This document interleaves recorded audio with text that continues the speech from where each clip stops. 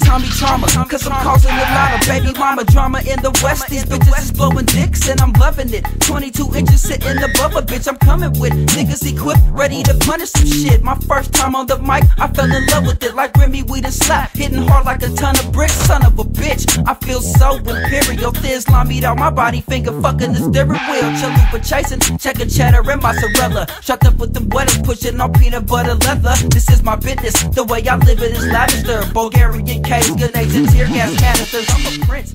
What's up? It's B Nasty. I'm with Knocksmith Catalog Magazine. Today we in Pittsburg, California with my man Cesscabano. How's it going, brother? What's up with it, Cuddy? All right. Yeah. I'm here today to uh, let America know a little bit about yourself, man. So tell us a little about yourself, brother. Yeah, man, I'm Bono, baby. No question, pippin' the paper is long.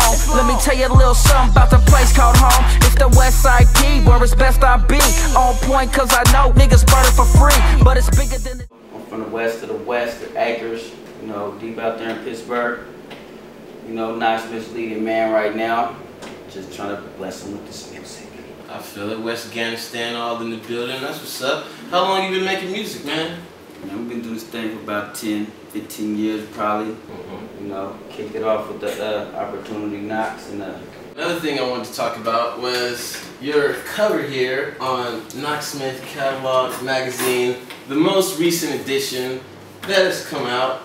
How does that feel, brother? man, that's a cold piece, ain't it? Just look at that thing, man. It, it's gorgeous. It's just gorgeous. Yeah, it's pretty, it's pretty professional, man. You know, I gotta thank Shauny B for talents and all that and good stuff. And uh, you know, that's my brother. Oh yeah. Oh yeah. and foremost. But uh, man, you know, it was more. Uh, I didn't anticipate to be as big as it really is. But I mean, you can look at it for yourself and see, man. We we on to some big, big tycoon stuff, man. Oh yeah. And tell us a little bit more about your involvement with the Knocksmith magazine. Like I know you guys started as a camp together, but like where has it come to now as far as you can see?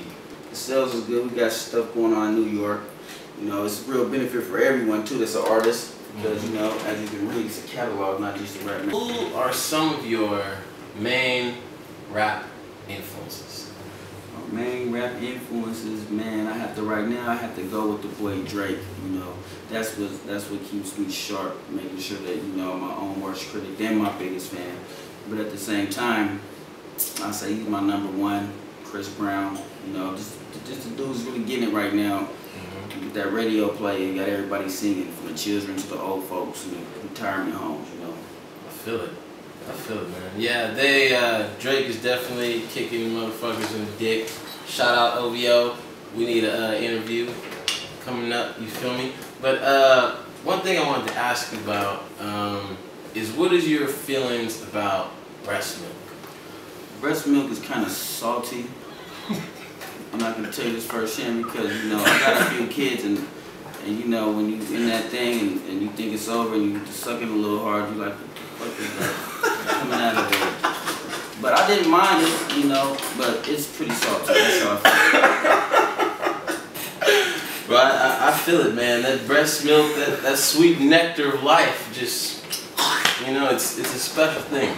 Yeah, have you had it before? You know, I tried it. Um, my BM, she she was so excited. You know, titties flapping around everywhere. She comes into the kitchen. She's like, "Hey, babe, try this stuff." She goes, squirts it on her on her wrist, right? I'm like, "Come on, man, that shit." You know, I, I, I've tasted your bodily fluids before, but the breast milk, I was like, I think this is just reserved for a child. You know what I'm saying? But you know, I had to nut up and wipe the sweat off and everything, and I licked the wrist, and I was, you know, it's, it was a little, it was a little tangy, but it was a little sweet. Did you go for seconds?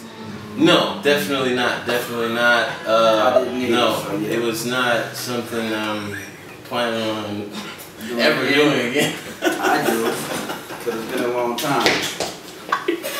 Breast milk. This nigga is wow. Y'all gotta tune in. This nigga shit, man.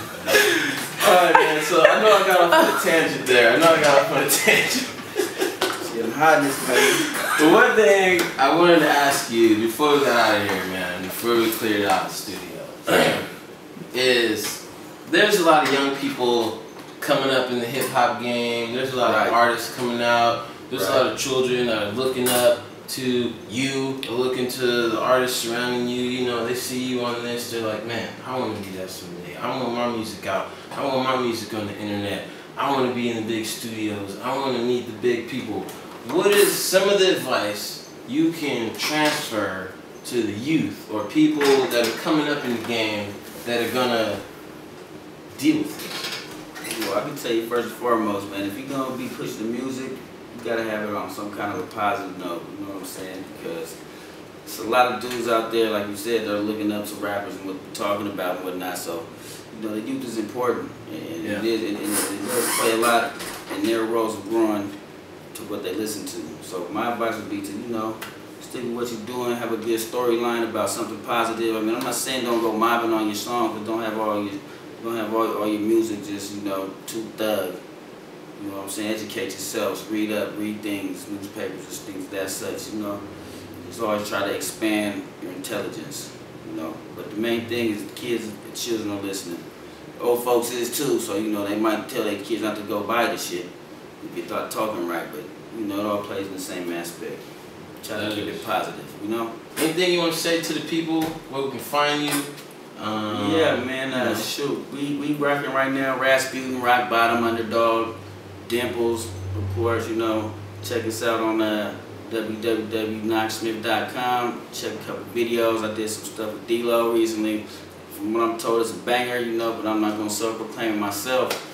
Uh, you know, just watch for that Knocksmith era coming back again. You know. One love to my petty note. You feel me? One album that I remember distinctively you guys doing was the Knocksmith album. It was like seven or eight of you guys on the cover, and there was a lot of promotion for it. It was really big. Like, can you tell us a little bit about that album? We really was shining on that one right there. We had it on fire. You know, Yeah. working with Indo, Slapmaster from Vallejo, SAG doing shows everywhere. Had a lot of features on there too. That song, that, that, that album I believe has 24 tracks plus bonuses on it.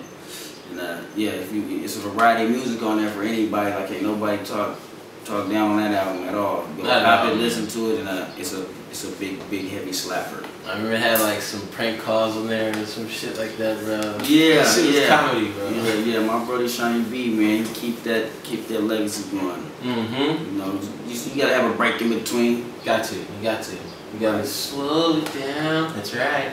But uh, so aside from that album, tell us about like your whole music resume, like all the projects you put out for people, Well, or put out there. Period. we got five albums out right now. Uh, first was Opportunity Knocks, of course. Couldn't keep hold of that one for nothing because it was it was just stealing it from you. You know what I'm saying? You couldn't let nobody borrow it. You never see it again. So that was that, that was our kickoff right there. That was the kick of the whole shebang. Uh, Still knocking. That was the one I just described to you. It was yeah, it was going. We didn't take that much work on it. I did some time. But that was going on. Shauny B. Luckily, he's a genius wizard. He got me on there. Uh, our third album, everyone, a lot of us were absent. Shauny B put out the solo, taking out the garbage, and he ain't got to do it. You know what I'm saying? That right there was a, was a cold banger. No cussing, pretty much, maybe 10 cuss words. You know, children singing them songs off that album. I tell you what, that was that was a good one. And you know, the fifth album, just that that perfectly natural man. It's when the saga starts.